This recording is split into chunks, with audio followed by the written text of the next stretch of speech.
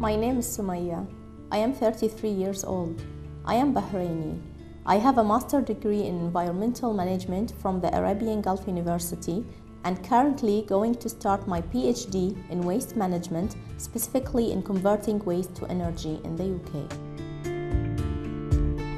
The Kingdom of Bahrain has a prosperous economy and a high standard of living. It has a small area, high population density, and limited natural resources, so it has great concerns over its future sustainable development. Bahrain is striving to diversify its economy and to manage uh, its natural resources properly. Furthermore, being an island state, climate change uh, possesses um, serious threats uh, to the existence of the country uh, due to the rise of the sea level.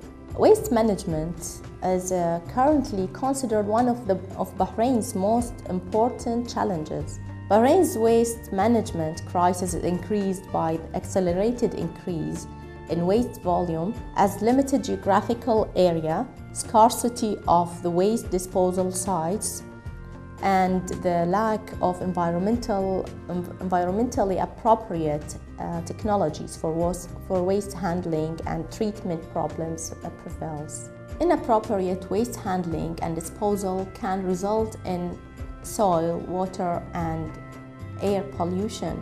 Solid waste management has therefore become a national concern. For this reason, Beside the dependence on the depleted and non-renewable fossil fuel, which is oil and gas, uh, as a main source of energy in the country, uh, the significance of analyzing uh, the potential of applying waste to energy techniques as a key component uh, of integrated solid waste management in Bahrain has been raised. Waste to energy technologies involved uh, converting various elements of municipal solid waste such as paper, uh, plastics and woods to generate energy by um, either thermochemical or biochemical processes.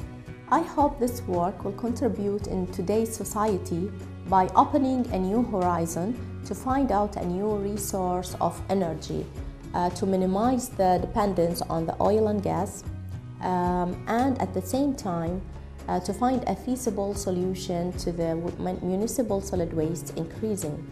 Uh, this time, uh, this will lead to save the planet and to give the chance for other further researchers in this field by considering alternative um, opportunities and using the waste as a main source of energy and deal with waste as a treasure.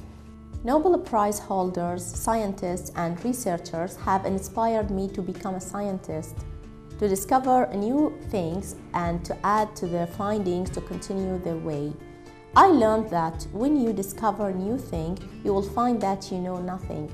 This is, this is the main motivation to continue the way. My main motivation to choosing a scientific career is my self-motivation in loving science by nature um, the knowledge of how much science is important to develop, to de develop a better life for people um, and to create a better world was my main motivation. I love to discover new things, uh, find the solutions for the main society's problems and to open new horizons for the new generations.